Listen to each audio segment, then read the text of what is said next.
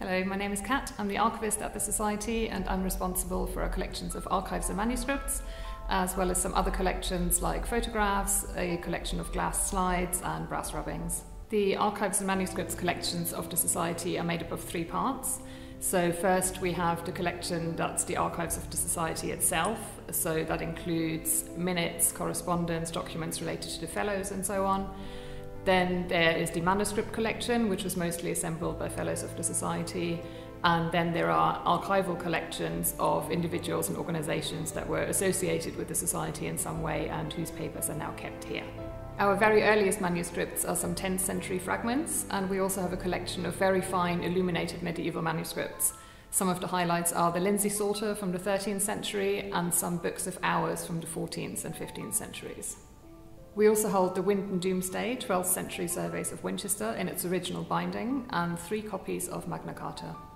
The manuscript collection is also strong in areas such as heraldry, pedigrees, early historiography, documents from the royal household, and local collections such as deeds and appointments.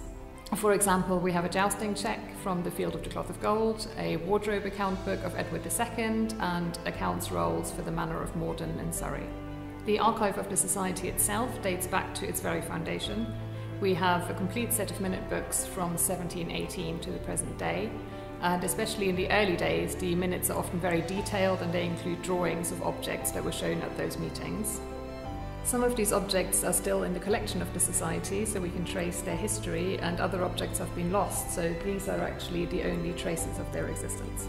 Other documents in the Society's own papers include papers read at those meetings, correspondence, election papers of fellows from the mid 19th century onwards, and especially in the 20th century, internal documents of the Society, the funds it administered, and so on. And for example, here we have the Royal Charter and the Register of Members.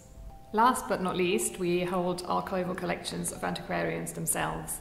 They tend to be related to specific projects or interests. So, for example, we have Dorothy Charlesworth's papers on ancient glass, J.F. Turner's sketchbooks of ecclesiastical buildings, excavation books of Mortimer Wheeler and Catherine Richardson when they worked on hill forts in northern France, and many more. We also have a substantial collection relating to Worcestershire, which was assembled by Peter Prattinton in the 19th century. Many of these collections were created, collected, or donated by fellows of the Society, so a lot of the material is also very interconnected. Of course, we also have some manuscripts both by and about William Morris, including Morris's own calligraphic copy of the preface of Snorri Sturluson. This one includes some marginal drawings by Philip Webb, amongst others.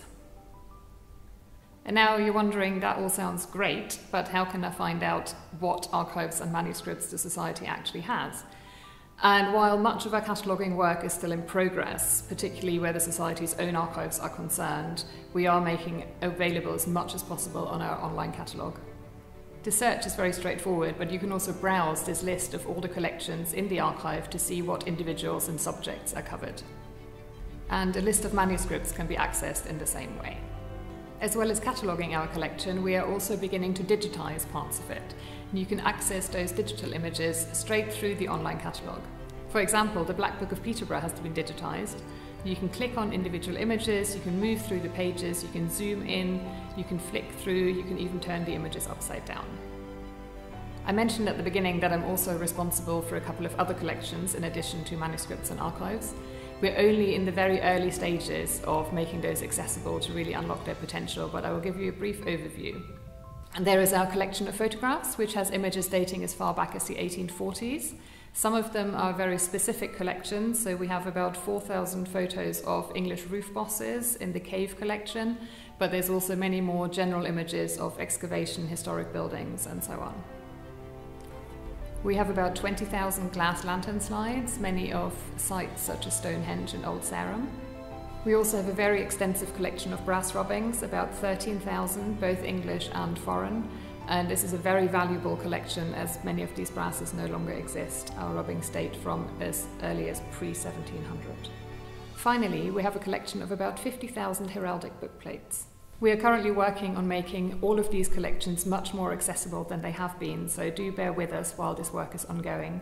But I hope you enjoyed seeing some of the highlights, and please do get in touch if there's anything you'd like to know.